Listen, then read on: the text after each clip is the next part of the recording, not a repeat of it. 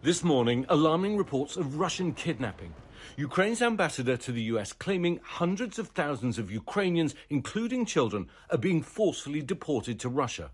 This is a brutal violation not only of international law, but of a common decency. How can you steal our children and try to try to hide them somewhere in Russia? Ukrainian and American officials have been warning of the displacements for months and have called on Russia to halt the deportations, citing war crimes. First, Russia makes orphans, and then it steals those orphans, Ukrainian kids being uh, stolen and taken and given to Russian families, potentially never to be found by their families again. Russia's countered, claiming these are evacuations from dangerous regions and that the children are travelling voluntarily. And this morning, a Russian strike southeast of Kharkiv. Four injured, three people still under the rubble as emergency services race to the rescue.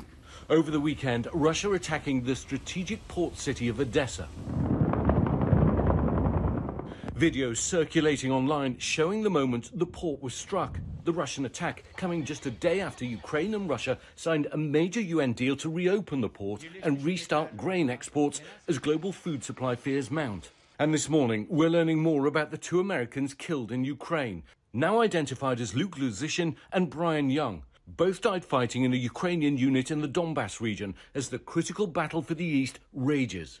He did not make it sound like, like you know, it was going good for the Ukrainians. He's a hero.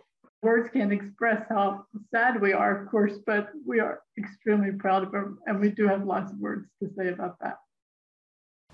The front lines have been fairly static for some time now in most of the country, and the American HIMARS, these mobile rocket launchers, seem to explain some of that.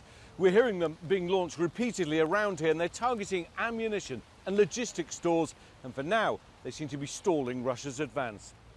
Ian Pannell, ABC News in Kharkiv.